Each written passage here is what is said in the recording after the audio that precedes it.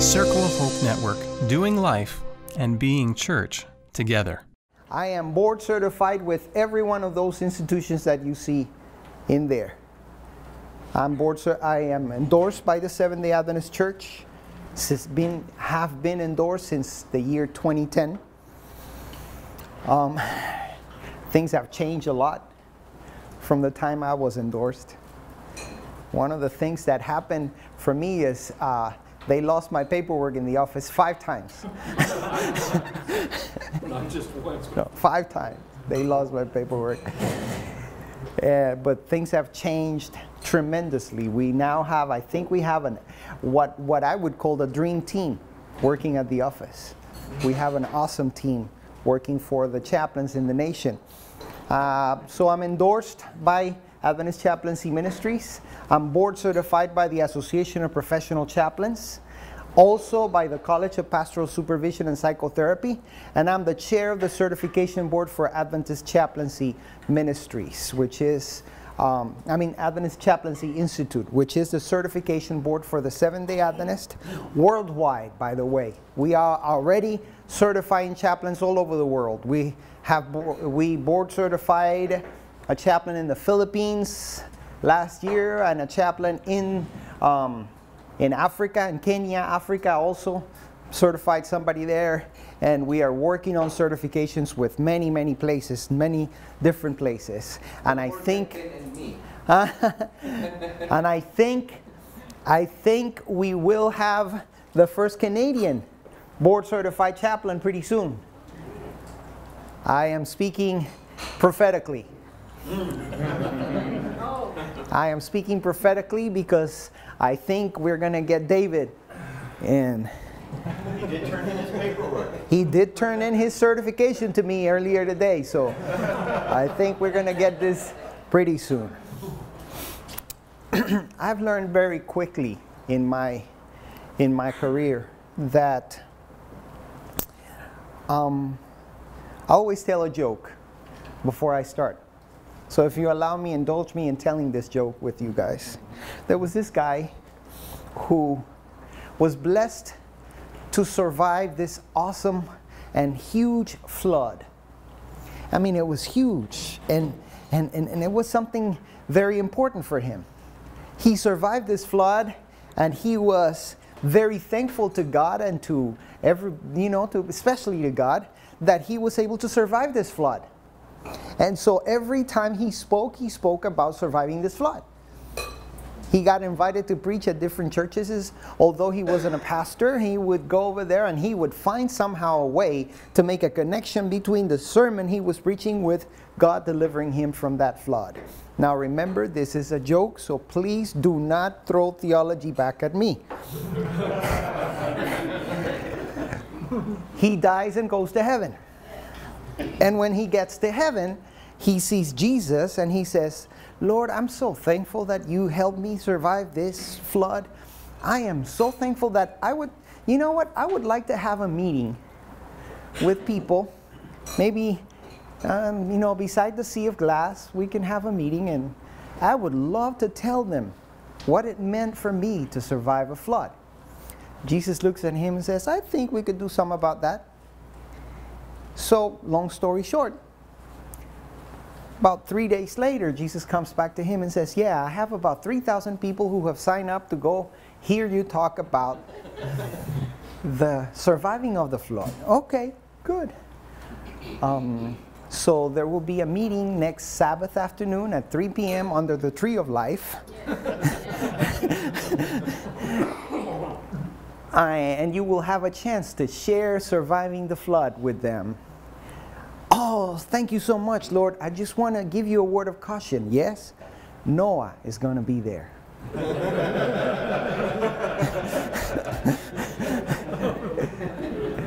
a reminder to myself that whenever I do a presentation, there may be someone in the audience that knows more about what I'm talking about than me. So that brings keeps me humble and grounded.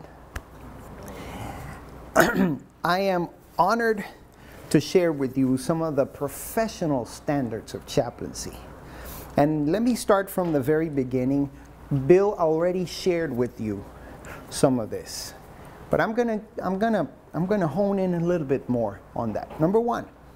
According to the church policy, chaplains are professional pastors. Which I'm going to say it in a different way. I'm sorry guys in the camera, I do move a lot. I'm going to say this in a different way. Every chaplain must be a pastor, but not every pastor can be a chaplain. Are you with me? Every chaplain must be a pastor, but not every pastor can be a chaplain. I'll give you an example. I told you I'm a, I'm a fourth generation Adventist. My dad is a pastor. He was actually the ministerial director of um, the ministerial director of the Inter-American Division until 2005 until he retired. And when he retired, he came to shadow me when I, where I was working as a pastor, as a chaplain. Because he was of the old mind that those who can't pastor, chaplain. Yes. So he came to shadow me because he wanted, yeah, I'm retired, maybe I can do this chaplaincy thing. I got him a badge at Florida Hospital and got him the, the necessary permits for him to go visit with patients and, and so forth. Um, two hours into the day, my dad says, I can't take this anymore, take me back home. and I did that for 16 years. I did bedside chaplaincy for 16 years. What am I saying then? What I'm saying is that not everybody has the heart, not everybody has the training, not everybody has what, it, what is needed to be a chaplain. And it's okay. It doesn't say that the person who doesn't have it is some sort of a failed pastor or something. It just, see, it just says that that's probably not their gift. That makes sense? Yeah. So, as I talk about chaplaincy competencies, um, I have I have a handout that I want to give you guys. I'm not going to give it to you right now because you're going to start reading the handout and not paying attention to what I'm saying. So I'll give it to you later on. Is that okay? Now, I'm going to talk about the chaplaincy competencies. Um, because what other uh, I was having a conversation with the with the ministerial de, uh, department in the North American division. I'm inviting them to be a part observers of the process of certification now. So some of them are coming to be a part of the certification boards that we are doing. How many pastors, after they're ordained, they have completed their education, they have to write between 50 and 70 pages talking about each one of the 31 competencies of chaplaincy. They have to write, not only that, they have to write their autobiography. They also have to write two clinical cases where they demonstrate competency. And then they send that information to five pastors who read that and then they drill them for an hour and a half, deciding, deciding if they're going to be board certified or not. Mm. That's the process. That's what we go through, those of us who are board certified. So, um, I'm sharing this, and some of them were saying, man, I think we need to start doing this a little bit more with our pastors. Rather than, for example, rather than asking our pastors before ordination, how many revelation seminars have you given? Or how many baptisms have you done? What about asking them, what is the theology that undergirds your ministry? Mm. Tell me, how does your theology affect the way you treat people? Because after all, that's what ministry is about, right? So we're going to talk about these things. I'm going to talk about the competencies of chaplaincy. A certain preamble here. Number one, chaplaincy care is grounded in, look at this, initiating, developing, deepening, deepening, and bringing to an appropriate close a mutual and empathic relationship with those receiving care. This is important. This is mutual and what's the key word here? It's not sympathic. And it's based on this idea especially in one of the books that we, all, we chaplains all have to read. It's called The Wounded Healer by Henry J.M. Nouwen. Have you ever read that book? Look for it. Maybe a good thing for you to read it. So, in The Wounded Healer, Henry J.M. Nouwen says, that, by the way, he's a Catholic priest. So, there's a Seventh day Adventist pastor uh, recommending Catholic priest literature. Uh, anyways, let me just stop there for a minute. he says, when we entered into someone's pain, there is a great probability that we will touch our own pain. And The Wounded Healer. The Wounded Healer by Henry J.M. Nouwen. N O U W E N. So, this is a mutual and empathic, empathic relationship with those receiving care. And this is important. There is a process. You initiate, develop, deepen, and bring to an appropriate close. This is not just I came, I dropped the bomb, and I left. No, it says I come, I initiate the relationship, I develop the relationship, I deepen the relationship, and I close it appropriately. All of this underlined by the fact that there has to be some empathic relationship here. So think about it. If I was empathic, would I go to a grieving mother who is crying for the death of their son and go, um, Where's your faith, sister?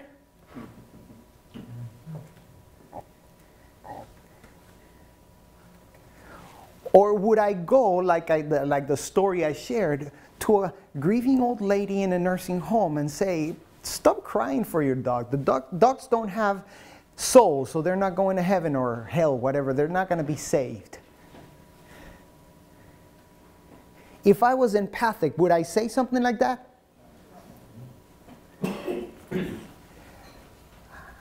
Second, the development of a genuine relationship is at the core of chaplaincy care and underpins, even enables all the other dimensions of chaplaincy care to, to occur.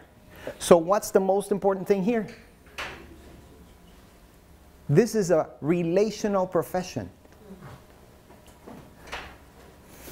That's perhaps one of the reasons why I, I, I love to talk about pastoral ministry in terms of the, of the idea that I find in Spanish. Why? Because in Spanish, there is no difference between the concept of pastor and shepherd. It's the same word, it's the same concept. Can I be a shepherd away from my flock? Can I be a shepherd to the sheep, keeping them an arm's length away from me? But who has the time to keep them sheep? They're so needy. They keep asking for things, calling me in the middle of the night for stupid things. I when I started ministry, I got a phone call. One a family, you know, a family called me once to go and bathe their dog. They called the pastor because nobody at home was had courage enough to go bathe their dog who was sick. So they called the pastor. I did. and that says a lot about me. So it is a relational thing, a genuine relationship. And it is assumed that the standards are addressed within the context of such a relationship. So I want you to understand that this is relational ministry, this is relational profession, right? And the standards that we do are always within this practice, this relationship. We cannot take the standards away from that because if they're away from that relationship thing, then they're just a piece, uh, a bunch of words. With me? Yes, sir. May I ask, why is there such a large differentiation in the requirements for chaplaincy as compared to pastoral ministry? Is there some kind of, Because the idea is that, chap- is that chaplaincy is a post pastoral specialty. Think about it this way. I don't know how it is here in Canada, but in, in, in, Amer- in the United States, um, my brother went to medical school, graduated as a physician, you know, MD, medical doctor with a general practitioner practice, uh, uh, license. But then he decided that he wanted to be a surgeon. So he was a specialty, he has a surgery specialty within the profession of medicine. And then within the surgery specialty, he did two more. He did bariatrics and non invasive. So he is a surgeon who started as a doctor, became a surgeon, and now he does bariatrics and non invasive surgery. It's the same thing with chaplains. Chaplains, we started as pastors, and then we took the specialty of chaplaincy. And there are some of us, like Bill, for example, he's a specialized military chaplain. I am a specialized healthcare chaplain. Yeah, yeah as a chaplain too, the weekend. As some of us, you know, for example, the uh, specialization in treatment and care, uh, you know, in thanatology. Exactly. And, uh, you know. Exactly. Some uh, have specialization in dementia care, you know, so it's, it's a different type of thing. And even in programming itself. And For there's- example, in Park Manor, we Uh. just don't do the usual program, you know. As a chaplain, for example, we do a different type of program that's more psycho-emotionally supportive, you know. And, and I'm going to go as far as to say, for example, now the, the certification organizations are even going as far as to providing specialty certifications. So you go and get board certified as a regular chaplain, but you can also get board certified as a thanatology chaplain or as beyond that is beyond the the original certification. You can go as a certified grief chaplain or a certified uh, palliative care chaplain etc. So it is a post uh, post pastoral specialty. Good question. Good question. Can I move on?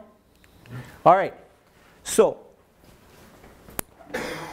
the, the, the standards of care are divided into three sections as, a, as chaplains, professionally speaking. And by the way, these standards are universal to all the organizations that provide certification. In other words, the Association of Professional Chaplains in the United States, the College of Pastoral Supervision and Psychotherapy in the United States and the rest of the world, Adventist Chaplaincy Institute in the United States and the rest of the world, and the Canadian Institute of Spiritual Care have the same standards of care.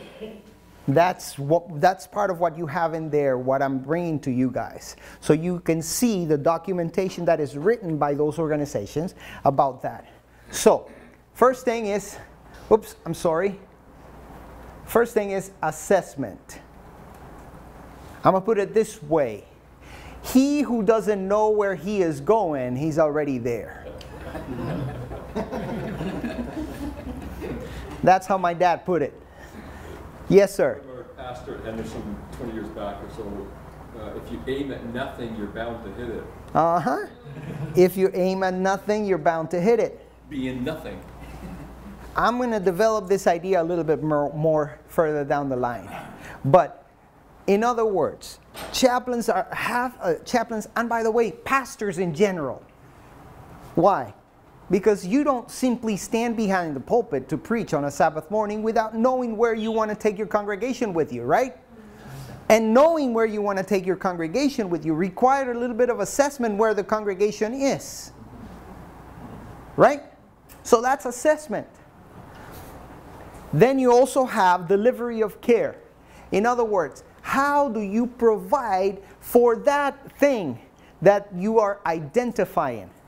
Let me give you an image, an image that probably will help you understand this. Have you ever, ever had a back uh, itch? You ever had one of those? And you can't reach it. And then you ask your spouse, your wife, to scratch you, but she is so worried about something else that she's scratching everywhere except where you needed to be scratched. How's that feeling? Describe it. Huh? Frustrating. Frustrating? What else? But how do you feel when finally she gets to the to the point where it's needed? Well, that is exactly what I'm talking about with the delivery of care here. That's exactly what I'm talking about. You go exactly to where it's needed and you scratch the where it's needed. All right? But this is not only that. When you are in an institution and you are providing care, let me see the chaplains that are here. If it's not charted, what happened? It never happened. So you have to document. And by the way, this is the interesting thing. Pastors who are pastors in churches. Has this ever happened to you? This happened to me um, some time ago uh, in a church that shall remain nameless. I, I'm sitting down a Wednesday evening. We went to prayer meeting with my family. And the pastor of the church stood up to preach. And he started to preach a sermon, and I started to hear that what he was saying was something I thought, I think I heard before. And then my daughter, who was 13 years at the time, turned to me and said, Dad, I think he's preached that sermon like nine times already. if you don't document that you've already preached that sermon, you may end up. Uh, anyways. Need I say more? so document care. Document that you what you do. And then teamwork and collaboration. This is the interesting thing. We pastors tend to be lone wolves.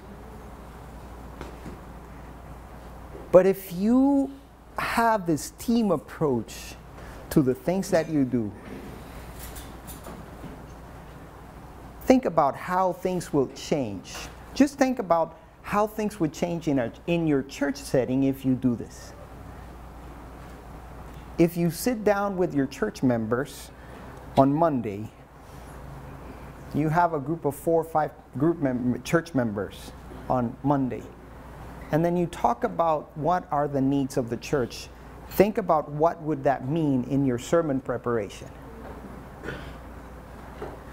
But now think about how do you do this in a healthcare organization when you sit with people. Had a, I had a meeting with a doctor who was very frustrated about a Jehovah Witness patient who was refusing blood transfusion and blood products. Very, very frustrated. So I sat with him because we have this team approach thing, sat with him and started asking. So let me ask you something, Doc. What do you think the blood means for this person? I need you to change the way you're thinking. You're thinking right now as a physician, you want to do something to save that person, and that's perfect. But now I need you to think from their perspective. What does that mean? I don't know, chaplain. What does that mean? And then I told him, you know that if he accepts blood transfusion, he's going to be shunned by his church. So this is more a matter of salvation for him. You are trying to save his life. He's trying to save his soul. Can we come together and talk? I mean, re- regardless of how stupid this means, this seems to everybody. And trust me, I don't believe what they believe, but it's not my job to judge them. My job is to advocate for him, as well to advocate to, for the physician. So can I help them to get on the same page? Are you with me now? That's teamwork. That's teamwork and collaboration. And then also that leads me to ethical practice. What is ethics? In the context of care, whether at church or in the, in, in, in the conference or anywhere, what is ethics? Can I, can I be honest with you? For example, that pastor that I'm talking about of that church that shall remain nameless, he was so jealous of me that, you know what that guy decided to do? He was convinced that I was not a good seven day Adventist. Therefore, he hired a private investigator to follow me around. And the guy was so stupid, because there is no other way to put it. He brings the bill from the PI to the church treasurer, my wife.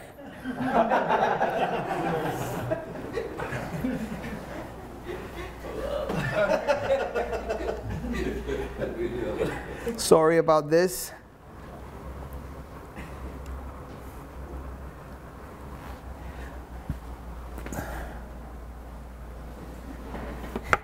Brings the bill from the PI to my wife.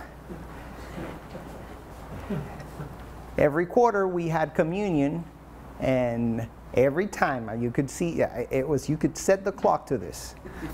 Friday before communion, he would come to my house to ask me for forgiveness, and we will patch things up and pray and things like that. Sabbath morning we had communion. Sabbath afternoon, he had a fight with me again.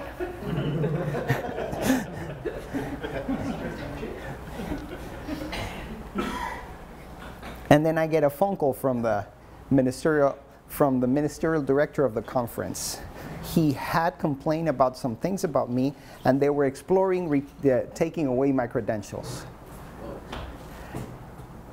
I explained what had happened, and the ministerial director just laughed and brushed it off. But that is what I would call spiritual religious abuse.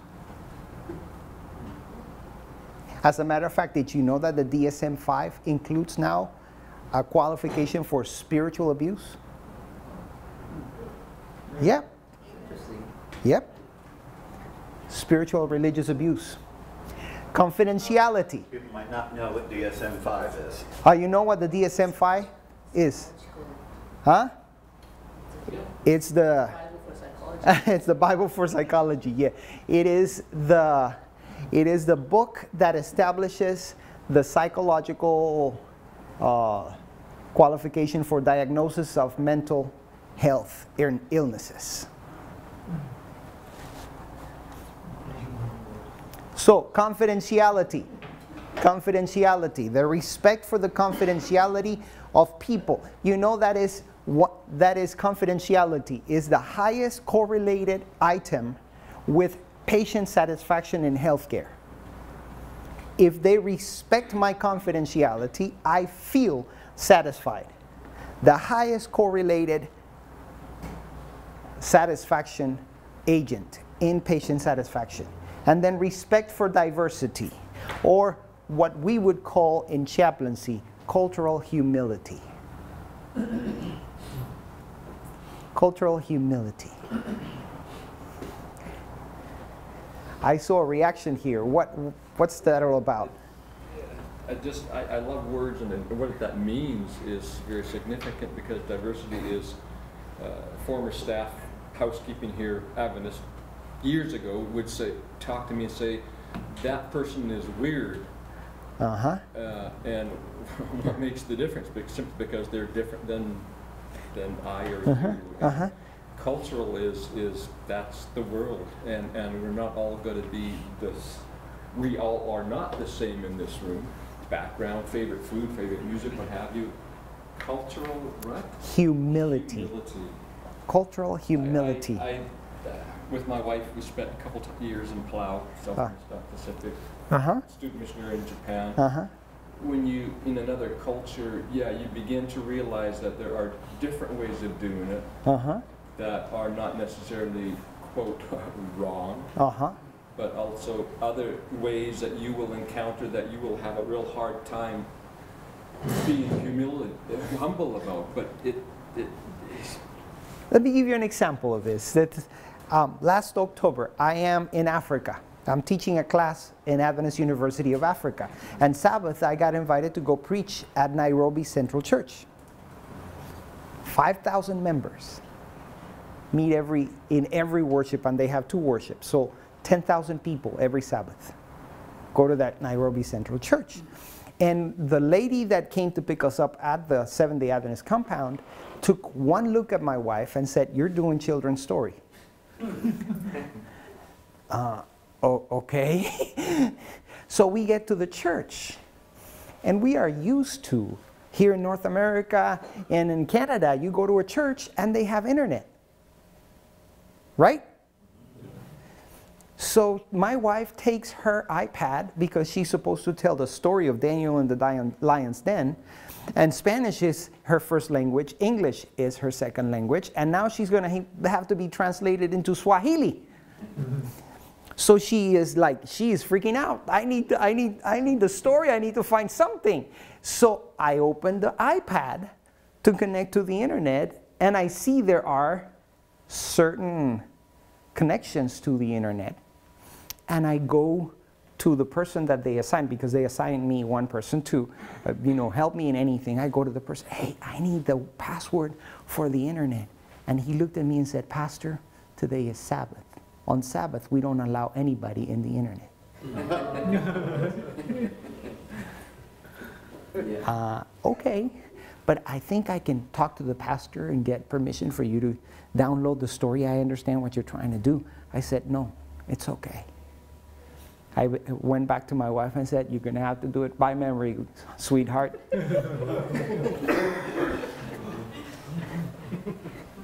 because you don't want to be the one that comes and says, You're going to change your culture for me. Okay?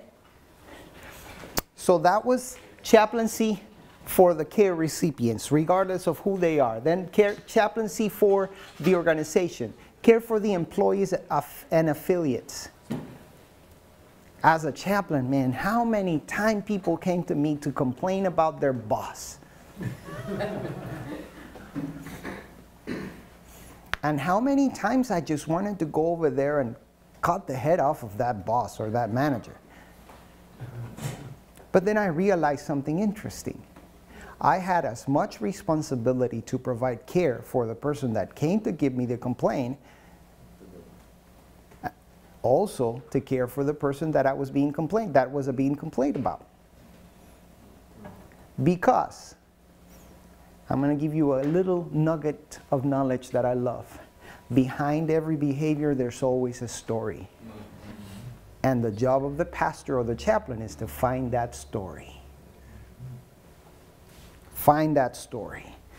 So we provide care for employees and affiliates, we provide care for the organizations, and we provide care for the leaders. That's standard. And then maintaining competent chaplaincy care that's the main, the, the, the keeping high standards of care, continuous quality improvement. Or what we would say at Advent Health now, continued cycles of improvement. Because every time you get to a place and you think you have, let me just say it the, uh, in another way. Is there any such thing as perfection on this side of eternity? So anytime you reach a moment of good standards, you can always look back and because there's always something to improve on. So, continue cycles of improvement. Research. Research. I'll give you one more piece of this. Um, there's, a, there's a researcher in Yale by the name of Wendy Cadge. She's an anthropologist. Brandeis. Huh? Brandeis. All right. Thank you. She's an anthropologist. And she wrote a book entitled Paging God. Paging God. Where she did this research and she went and asked 1,500 chaplains, What is your number one tool of ministry? 1,500 chaplains. The number one answer that came back was Ministry of Presence. Good, nice. That's the highest ranked tool of ministry in chaplaincy, Ministry of Presence. And then she went and she asked hospital administrators, medical directors, and nursing directors, what is your definition of Ministry of Presence? Okay? You know what was the number one answer the administrators, medical directors, and, chaplain, and nursing directors gave? Holy laziness. Holy laziness. Holy. Holy laziness. At least they gave it the holy. now, what is the ministry of presence? And why is it perceived by administration as holy laziness? Could it be that they don't know what chaplaincy is because we have not told them what it is? We have not demonstrated what it is? I did bedside chaplaincy for 16 years. I can't recall any time I was a wholly lazy guy. Seeing 30 to 40 patients a day, I wasn't, I wasn't lazy. Having meetings and having interdisciplinary care notes and, and all that, I wasn't, I wasn't lazy. But my administrators didn't know when you ask administrators, what is the work of a chaplain? Many of them will tell you, just pray with patience.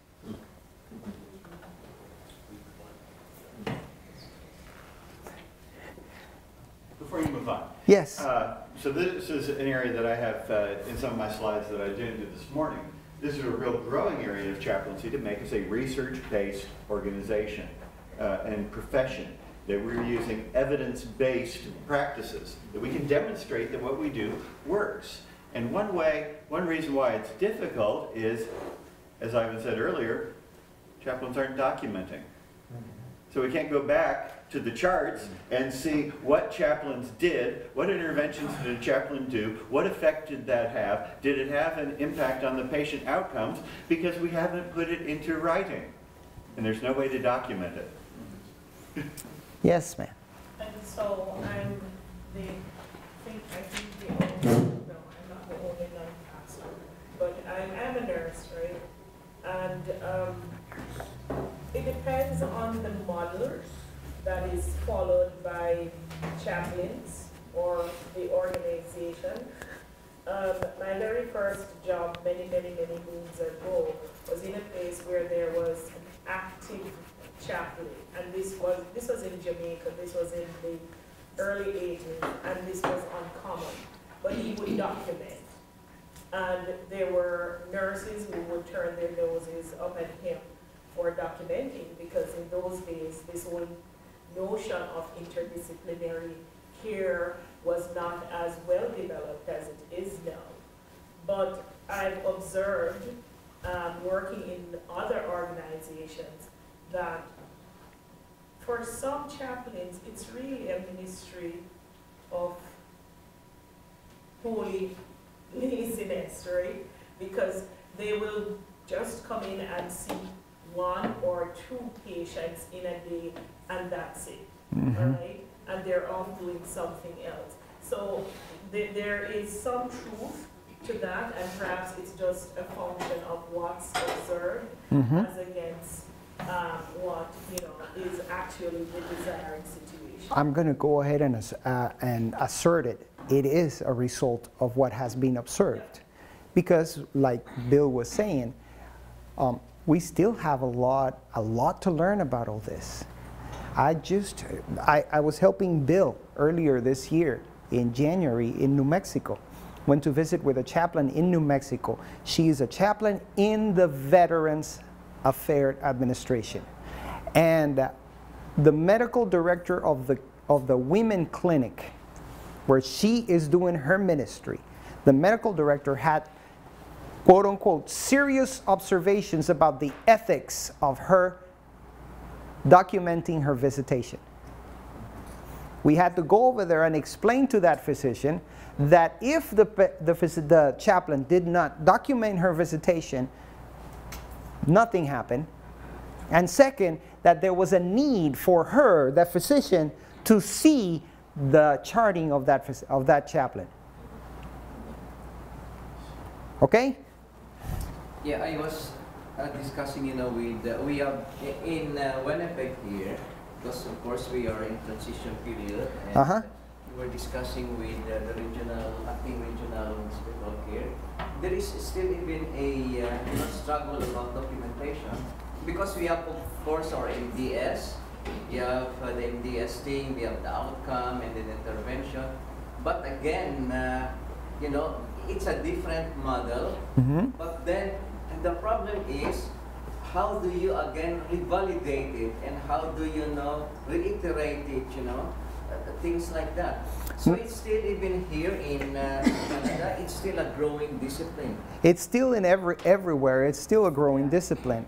There is a need for reevaluations. There's a need for communication of when a goal has been met. Yeah. How do we move to another goal? All there. Th remember, I go back here. Continuous quality improvement.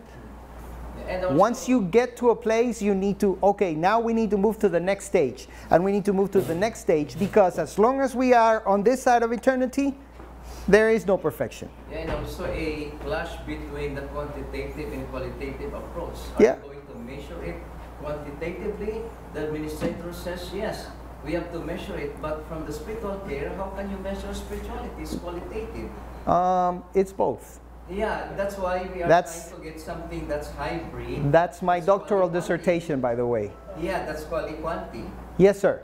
In order to ensure that holistic care is given, huh. speaking in terms of from a long-term care home, um, it is required that you record all your interactions. Mm -hmm. so if you do um, physical therapy, mm -hmm. you need to chart that.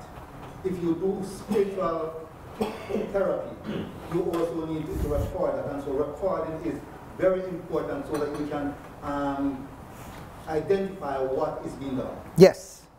Thank you very much. I'm going to very quick, very quickly here, technology.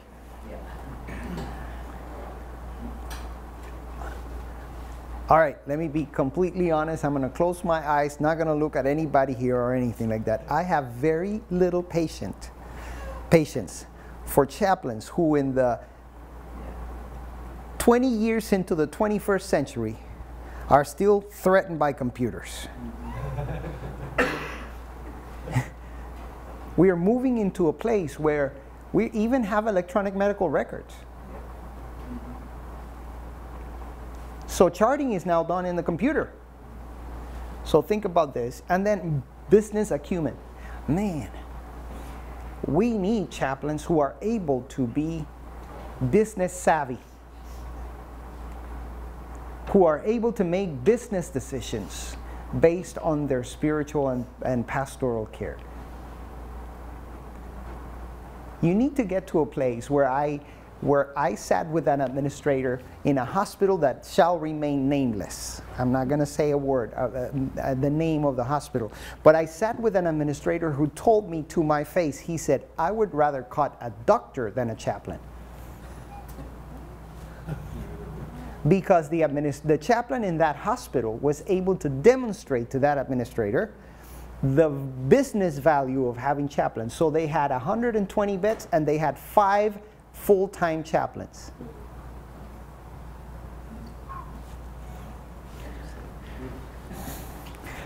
That chaplain had business acumen. I don't care how do you define it. Questions? I think we've addressed some of that. So spiritual assessment. The pastor is a diagnostician. Very quickly, Benjamin Rush, after father of American psychiatry between 1745 and 1813, he said, A religion of some kind is as essential to the mind of man as air is to, res to respiration.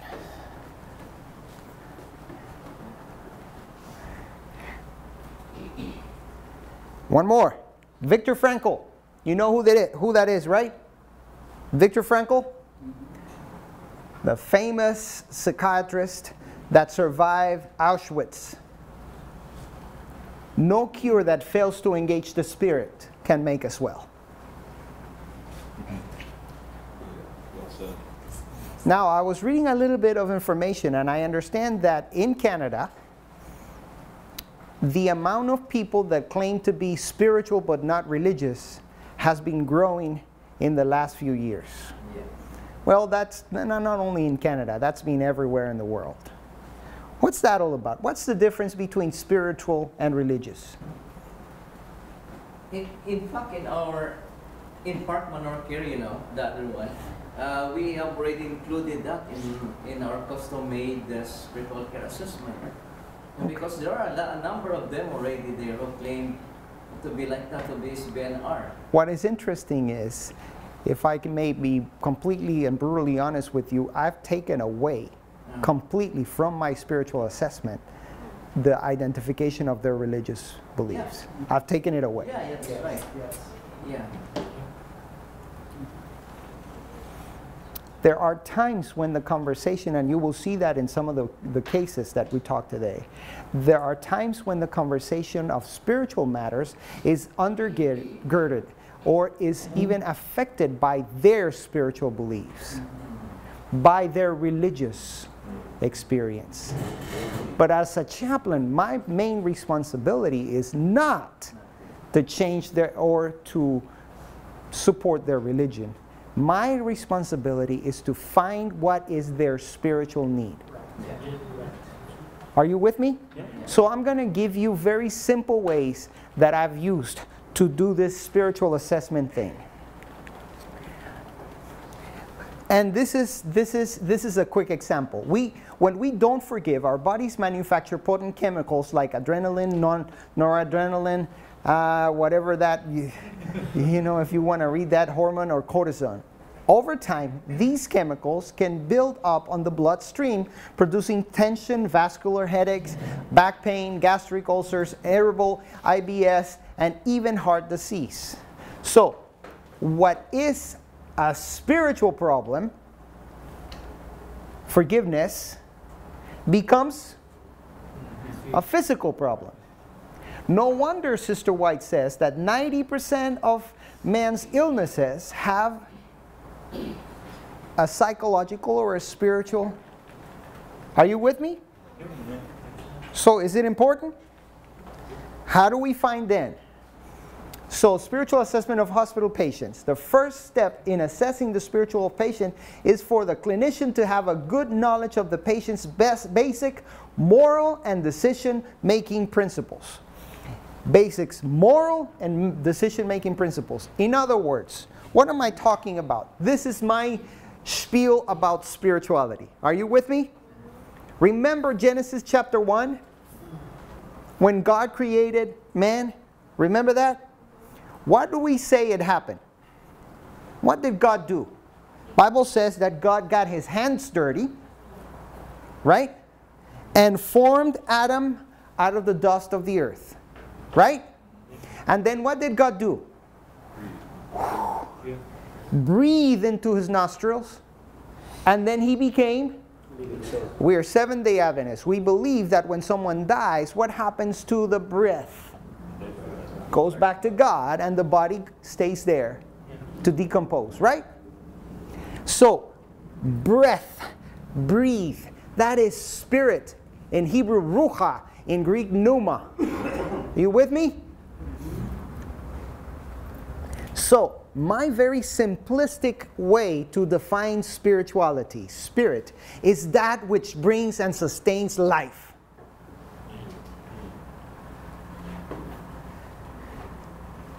That's what gives meaning to it, right? Brings, sustains, gives meaning, whatever. The interesting thing about all this is that I can find spirituality even in the atheist. I can find spiritual needs even in the one who says, I'm agnostic. Because they do have spiritual needs. What are their spiritual needs? Where is it that they find meaning? And as a chaplain, I sit with them, I'm trying to find where is that meaning. And what were the two words again you said, which brings what and what? M- sus- brings and sustain meaning and life. Meaning and life. All right, I'm going to give you some examples of spiritual assessment qualifications. Does a spiritual connection exist? Does the patient verbalize a need to connect with his or her own spirituality and or spiritual support system? You know what, chaplain?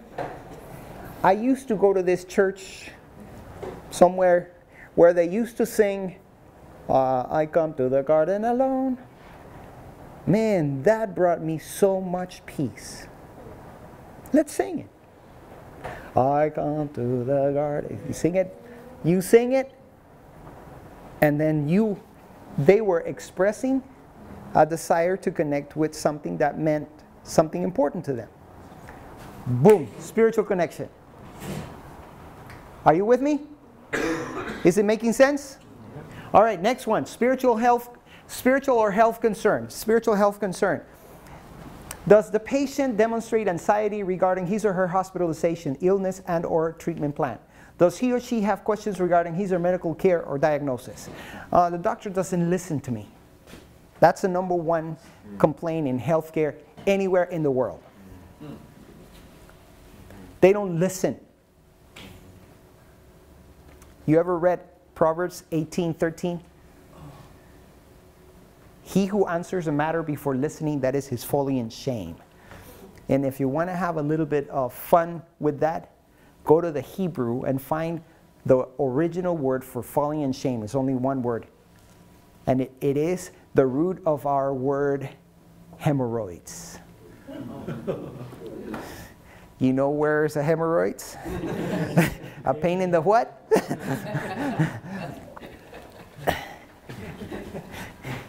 So, patient is expressing anxiety regarding their hospitalization, their treatment, something. Then there may be some spiritual health concerns. You address those. Or maybe the patient, does the patient and our family exhibit spiritual beliefs? Do they express trust in God? Do they desire prayers and wish to participate in their own religious rituals? They need spiritual support. Notice I'm, I'm trying to make it as simple as possible. We don't need to make things more complicated. Human beings are already complicated. We don't need to make them more complicated. Any question? I'm moving. Is the patient dealing with spiritual dilemmas? Does he or she struggle with the meaning of life and death?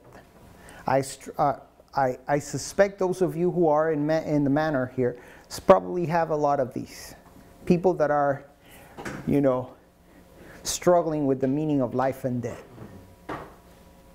Are there questions regarding God or a higher power? Are there spiritual dilemmas? I need to forgive or I need to be forgiven. You're in a you're in an ICU sitting with a patient that's about to die. And he looks at you and says, I can't die still, Pastor. Why? What's going on? What's happening? Tell me more. 20 years ago, I killed someone in Chicago. And that is a cold case. I think I need to make right. How do you deal with that? How do you help that person?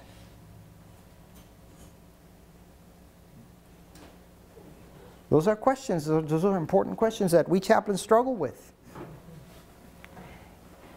So, there's probably a spiritual dilemma related with that. Or how about spiritual anxiety? Does he or she exhibit spiritual anxiety, grief symptoms, complicated grief, grief, complicated grief I'm talking about here, spiritual depression and or alienation. I feel abandoned by my family. I feel abandoned by my church. Let's go back to that example with that physician who wanted to have that patient take some blood, that Jehovah Witness patient. there is some spiritual anxiety there. Why? Because if I take this blood, I can easily. He's, you think they don't know that this is very simple, fixable? They know. They can look around and they can see the other people who don't believe the same thing they believe, who get well and they leave the hospital very well, no problem. So they know that. But they are they have this huge fight within themselves. So there's spiritual anxiety there, there's spiritual dilemmas in there. There are so how do we scratch where it itches? How do we process that? How do we sit down with someone who sees the train of death coming to them on a daily basis and tells you, I am afraid to go to sleep at night because I don't know if I'm going to wake up tomorrow morning? So, how do you hold the space for them and hold the tension of that statement? Because you want to save their lives, don't we? Don't you? But you can't. So, how do you hold that? That's part of the spiritual assessment that you follow. Or is the patient encountering spiritual suffering? Does he or she demonstrate spiritual withdrawal, loss of hope and belief, and or feelings of despair?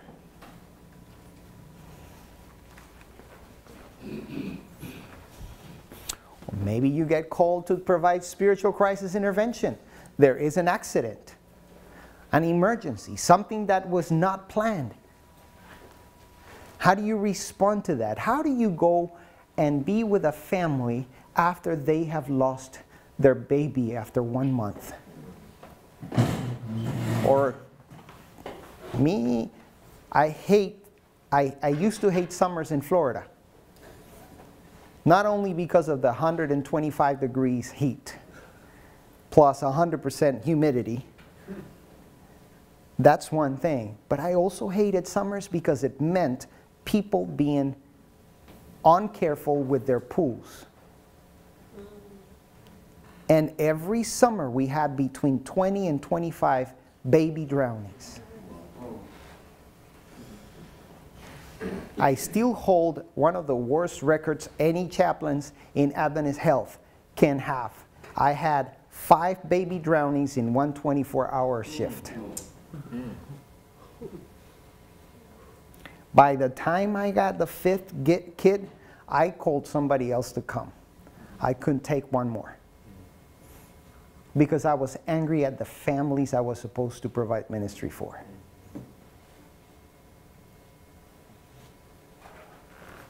So, spiritual crisis intervention. How do we, does an emergency or life threatening situation exist? Is withdrawal of life support an issue? Is the patient near death or comatose? How do we respond to that? How do we provide support for the family? How do we support, provide support for the patient if that is available, if that is possible? How do we provide support for the staff? Especially in places like this. They have been caring for that lady, for that old lady for a year, and then she dies on them.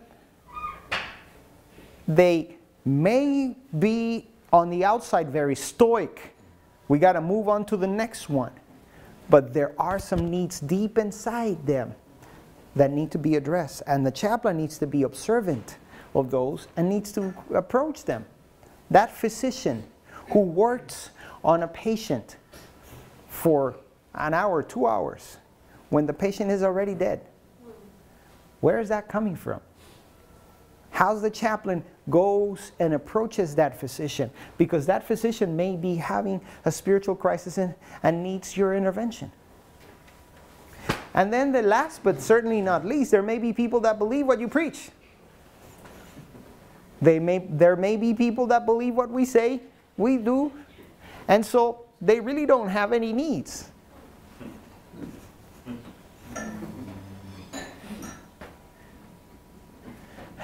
What's happening? Tell me more. What these reactions, Bill? Well, they may uh, believe what you believe, but they still have all these questions. Life is still going on. Mm -hmm. be a Seventh Day Adventist and have issues. Uh huh. Struggles. There's no human being. There's no human being without spiritual being. All right. There is no human being without spiritual needs. What I'm trying to say here is that maybe at that moment when you show up, they're not really interested in following anything with you. So there's, this is the moment when I am, as a chaplain, I am capable of saying, okay, I'm leaving you in the hands of the Holy Spirit, and the Holy Spirit will provide for you the next person available. Then prayer, prayer can be uh, uh, uh, an answer that person can have. Yeah, prayer may be. They, but the, also the patient may say, no, I, I really don't want you to pray. So you have to give them the space to say, okay, that doesn't mean that I'm not going to go out of that room and outside the door, I'm going to send a good, pr- a a short prayer up to heaven. Please, Lord, be with them. They may not realize it, but they need you. Yes, sir. I, I discovered that um, sometimes in the most trying times, individuals don't need to hear a word from you. Uh huh. It might be that you just need to be present, Uh huh. or you might just need to give them some space to breathe, but let them know that, okay, I, I either will be praying for you, or if you need me, I'm just a phone call away, and that alone can be an icebreaker. So it will open the door. And so sometimes it doesn't really make sense to pray. But just leave them with an open door that, hey, I'm right there for you. And the door will open for you to intervene at other times. Thank you very much. I'm closing with this, with this uh, uh, illustration. Um, in 2008, in the, in the United States, the Center for Medicare and Medicaid, which is the highest uh, insurance in the nation, decided that they were going to change the way they reimbursed hospitals and healthcare facilities based not only on clinical outcomes. In other words, let me give you a quick example of that. If I came to the hospital in the United States and I had chest pain, I went to the ER, emergency department, and I said I had chest pains. In order for the hospital to get reimbursed by Medicare, they had to provide proof to Medicare that when I said I had chest pains, within 30 minutes they had to give me an, uh, an EKG and, a, and, a, and an aspirin. So if they gave, the hospital gave that patient the EKG and the aspirin within 30 minutes, they got paid. Are you with me? Starting 2008, they said, okay, 60% of what you are going to receive is based on giving them the EKG and the aspirin. 40% of what you're going to receive is depending on how you treat the patient when you give them the aspirin and you give them the EKG. So in 2013, when this thing came live, in August of 2013, Florida Hospital in the Orlando area, you know, the biggest hospital we have in the nation, in that place, in one month, they lost $30 million in revenue. 40%, boom, dropped. Everybody went crazy. Because the process to identify how satisfied patients were was established by a survey that got sent via mail to everyone in the hospital, and there were 28 questions in that survey. Question number 21 of those 28 questions reads the, the following way Degree to which the hospital staff address your spiritual and emotional needs from 1 to 5. That became the way they were evaluating the chaplains department. With that question, everybody went crazy and people started saying a lot of things. I was I became member of a bunch of meetings, a bunch of committees and all that, and I heard it all. I had to pray with every patient, I had to give everybody a Bible, I had to do this, I had to do that. I, I mean, I heard it all. Everybody was crazy. Why? Because remember, for now it's hitting the pocket. hitting the pocket. So I said to my administrator, hold it. Before we go anywhere, let's just give voice to need, who needs to have a voice. Give me one month. I went and I asked 200 patients, what comes to your mind when we ask you about your spiritual and emotional needs? That's all the that's the question I asked. What's com- what comes to your mind? Did you know, for example, that four out of 200 patients said prayer?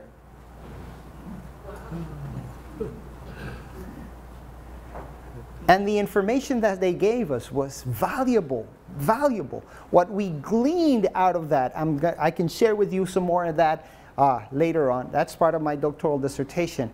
But what we glean out of that is that patients were evaluating the whole experience from beginning to end. And I was able to find something interesting. I was able to find, I found, I was able to put numbers into this. Okay. And I found that as long as I saw 70% of the patients before they left the hospital with what I called a discharge blessing, as long as I hit 70%, my numbers in the spiritual question was, were in the 90th percentile.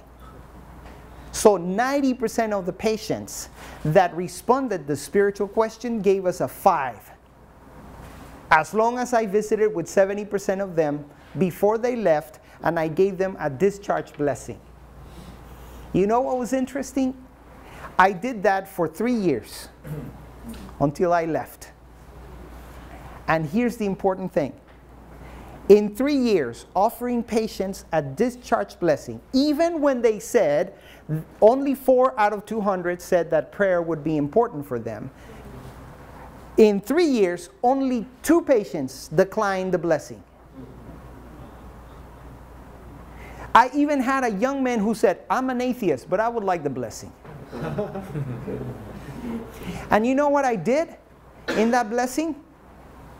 I, I made my own version of the Aaronic blessing in the Old Testament. May God bless you and keep you. May God shine his face upon you. May you never get sick again. May you never need to come back to the hospital. And if you ever need to come back to the hospital, we are here for you.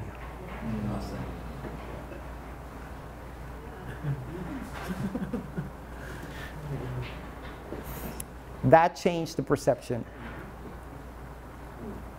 And so we had numbers that connected pastoral care with high standard results. Uh, we have three more minutes. Questions? Concerns? Yes, sir. Are you willing at all to share some of that? Uh, yes, yes, yes, yes. I will share. I will share.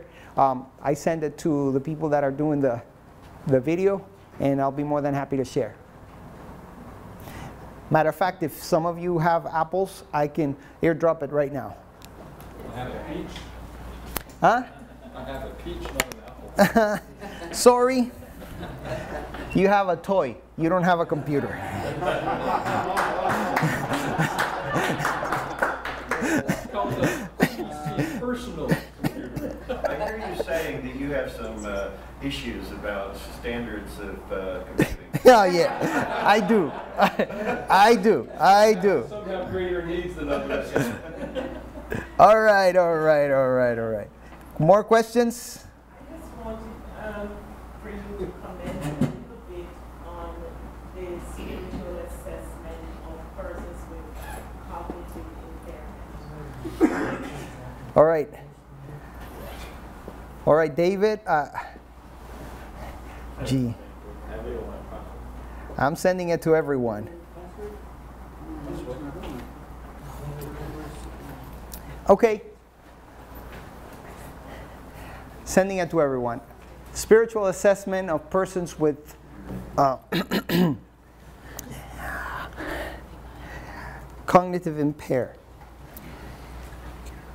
For me, it all started in some of the things that I observed. The first year I was a chaplain, I was actually a chaplain in a nursing home. And there were many patients that could not carry a conversation. There were many patients that had had um, cognitive impaired, that were cognitive impaired. How did I do some of that? first thing I did is I started to do some create, find some creative ways to observe. In a spiritual assessment and diagnosis, observations are most important. As a nurse, you know this. Patient may not be able to tell you that they have a physical need, but there is a way they communicate, not with the words, but in other ways. So as a chaplain, I learned to observe some of those things. Um, I'm going to need to be a little bit more specific later in, in some other ways we do this. Um, I, for example, I had I had a, a patient with that had a stroke and she had aphasia. And so, which means she only had one word that came out of her mouth, but I could see that she knew what she was trying to say. So, the way I addressed that is I gave her a piece of paper. And so she wrote some of, thing, of her things. And what I found out is that the, it was very important for her that she would have some time to share stories with her grandchildren. And so I was able to give them coloring books and things like that and provided for an opportunity for grandma and her grandchildren to share on a coloring time and during that coloring time, I was able to glean so many things about this family and about her. So that's, that's probably one of the ways, in creative ways, that you, that you can connect with people like that.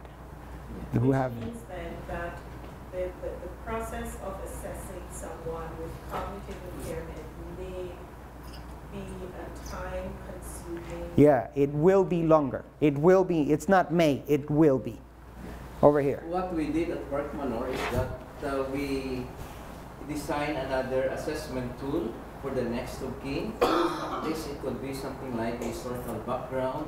So aside from the assessment tool used by me, mm -hmm. we designed another one for the next of kin who can tell us more. I would be cautioned to call that assessment. I would call that screening because a screening, uh, an assessment is performed by someone that is um, trained, yeah.